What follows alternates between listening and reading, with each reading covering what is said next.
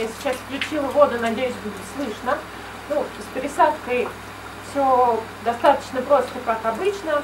Да, э, если спагнум очень сухой, я поливаю растение, то есть э, мочу этот спагнум, чтобы он был в воде, вытаскиваю его из горшка.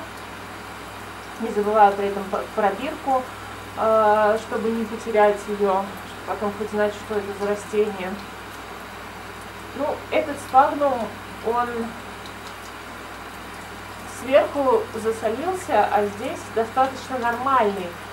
Но поскольку я могла бы его заменить частично, если бы я сажала снова спагнум, но поскольку я буду пересаживать это растение полностью в кору, э, я уберу спагнум совсем, чтобы избежать потом головной боли с поливом, да, чтобы мне потом не думать, а в чем это растение сидит, если там спагнум, как мне его поливать, э, не залью ли я его, да, вот чтобы вот этих потом не было мучений, я просто убираю полностью спагнум и буду сажать его в кору. Вот я очистила корни растения. Корневая, кстати, очень хорошая, замечательная. Я его промываю под водой. Убираю остатки мха полностью, оно мне не нужно.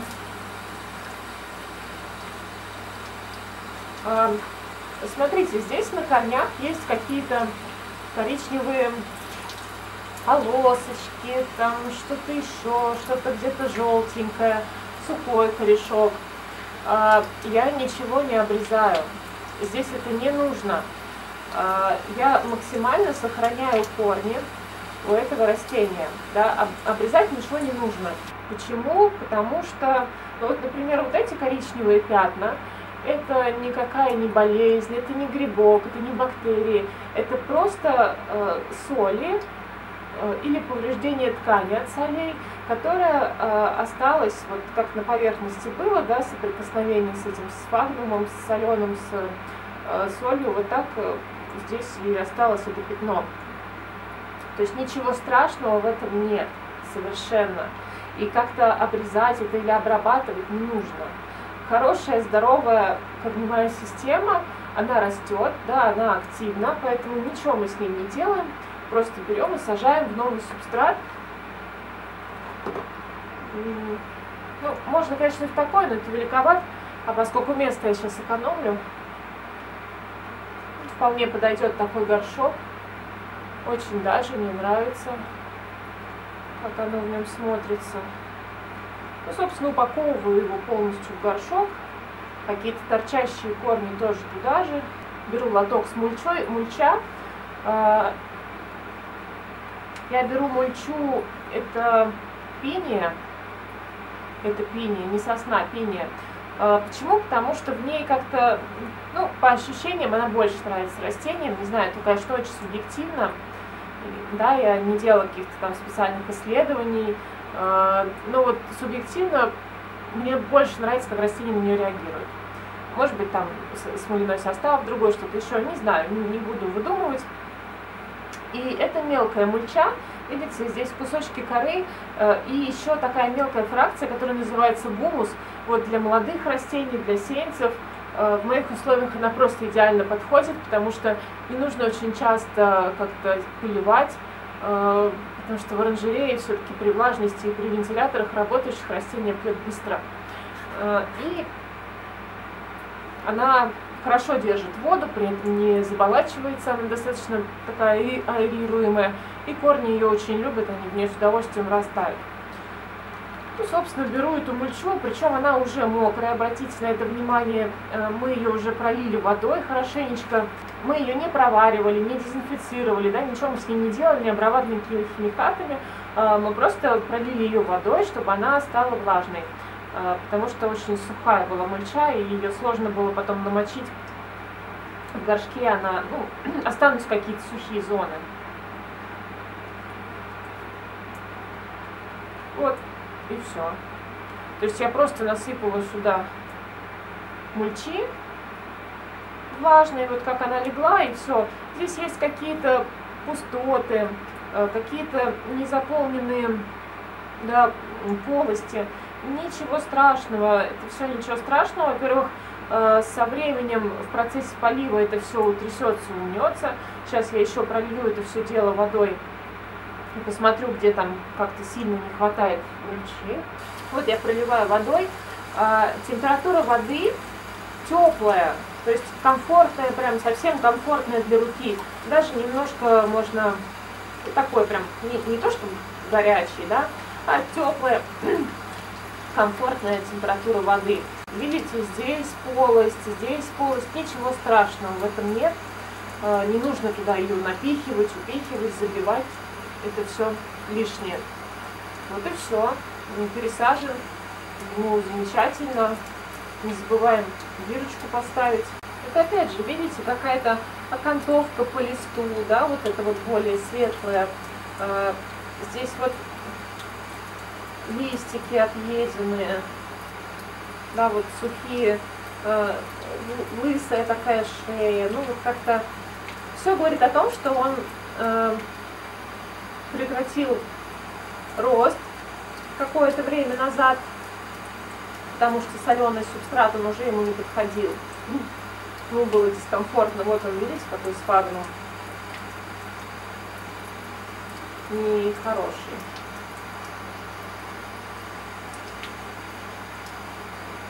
И начались вот эти вот микроэлементозы или макроэлементозы, когда не хватает какого-то каких-то элементов минерального питания. Вот это все свидетельство нехватки элементов минерального питания.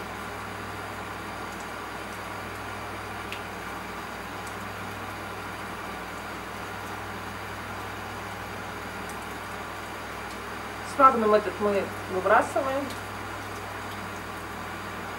Вот здесь участок корня даже сгнил. Ну, вернее, веломен э, сгнил. Сейчас мы промоем.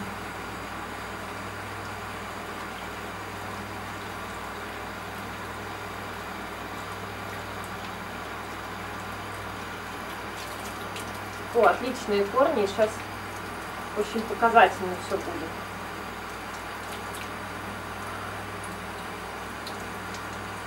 Вот здесь э, кончик потемнел, сгнил, да.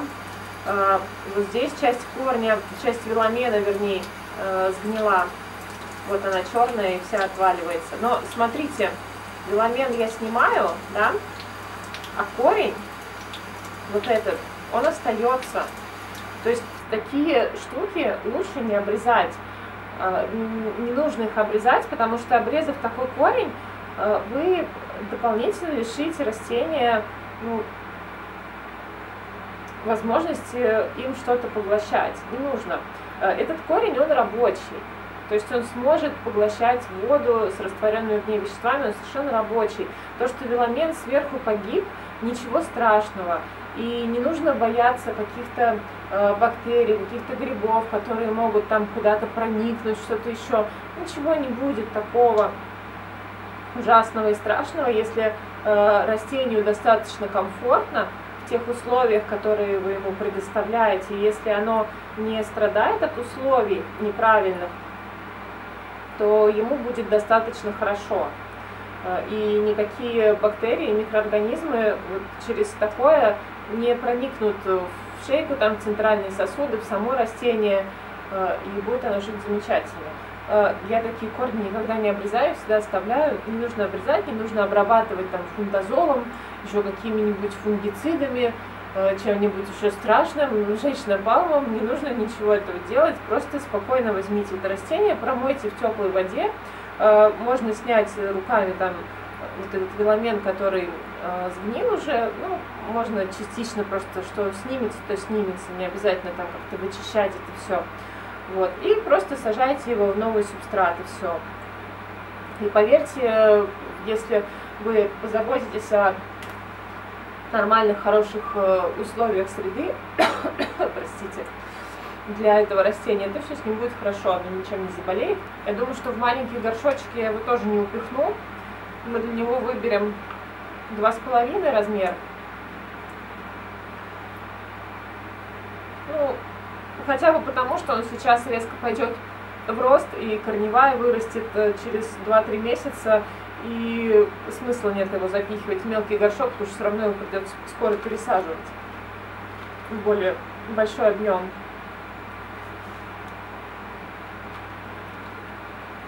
Так вот просто легко я э, насыпаю мульчу в горшок. Господи, я пересадила уже какие-то тысячи фаленопсисов вообще. Просто тысячи. Я чувствую себя каким-то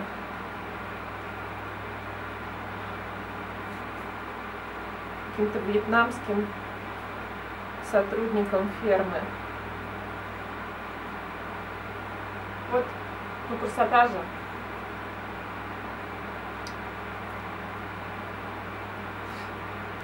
Это у нас зен-миньяк. А, я всегда промываю растения водой после пересадки, э, чтобы грунт немножечко осел, да, чтобы промыть листья от, э, от субстрата, от излишков. Ну и вообще это как-то как-то это лучше, что ли, гигиеничнее, правильно. Ну вот тут то же самое. Лысая шея, корни даже не стали от нее расти, он тут что-то попыталась, но он погиб корень.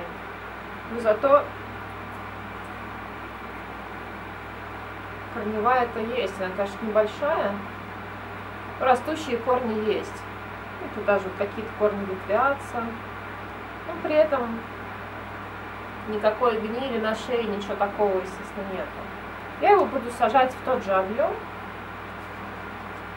потому что место надо экономить. Много места в оранжерее – это роскошь.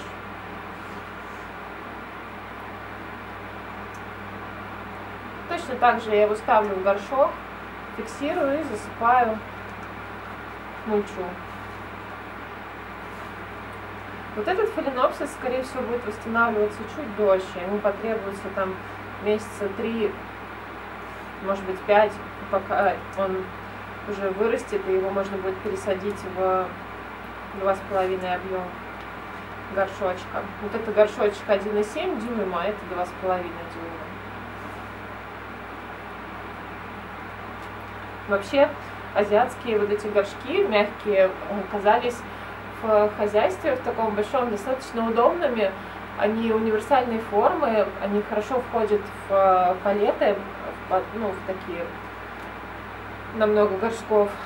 Вот, и они довольно-таки мягкие, что тоже оказалось удобно. Прямо при хранении так вообще, вообще они мне нравятся. Ну, что-то китайцы ерунды не придумают. На самом деле, какими тысячами они там фаленопсы выращивают. Они просто по определению не будут делать что-то, что плохо работает. Вот. Мы молодцы. Вы-то сейчас пойдете чай пить, а мне это все еще пересаживать. Главное, чтобы растение было хорошо закреплено. Да, во-первых, я стараюсь его посадить э, так же, чтобы оно было так же ориентировано, как сидело до этого. То есть сильно, чтобы оно не наклонялось куда-то в другую сторону. А, и, во-вторых, э, я смотрю, чтобы оно было зафиксировано, чтобы оно не болталось в горшке. Вот, мы с вами пересадили растение, посмотрели на Вагном. Ставьте лайк, если это видео было вам полезно. А, подписывайтесь на мой канал, я буду очень рада. Пишите комментарии и до новых встреч. Всех вас люблю, целую, всем пока.